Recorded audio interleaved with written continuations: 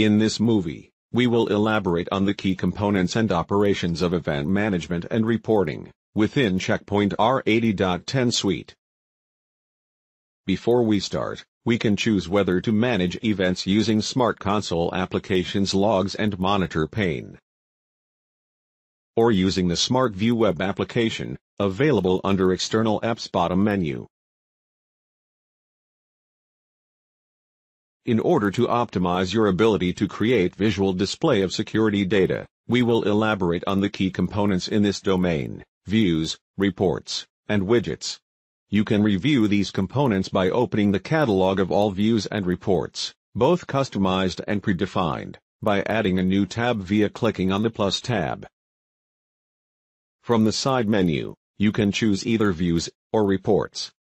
Each one leads to its own catalog. You can customize or edit each one of them according to your needs. A view, in this case, Threat Prevention View, is an interactive dashboard made up of widgets. It tells administrators about security and network events. Each widget is the output of a query, shown in a graphic format. To find out more about events, double-click a widget to drill down to a more specific view. In this case, we double-clicked the top protection of this widget to get a more specific query. Please note that this option is available only for predefined views. A container is also a widget. It unifies multiple widgets into one frame. For example, let's take a look at the timelines container of the general overview pane.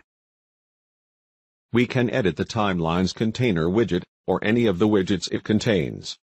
We can also add additional timeline widgets to this container. A report has multiple views and applies to the time that the report is generated. It gives a broader perspective in terms of details and can be customized accordingly. Copy is one of the most powerful actions in the SmartView pane.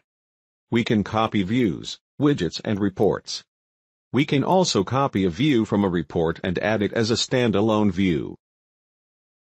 The copy action is accumulative, meaning that after copying multiple components, for example widgets or views, we can choose the relevant one and paste it accordingly, thus creating a customized view.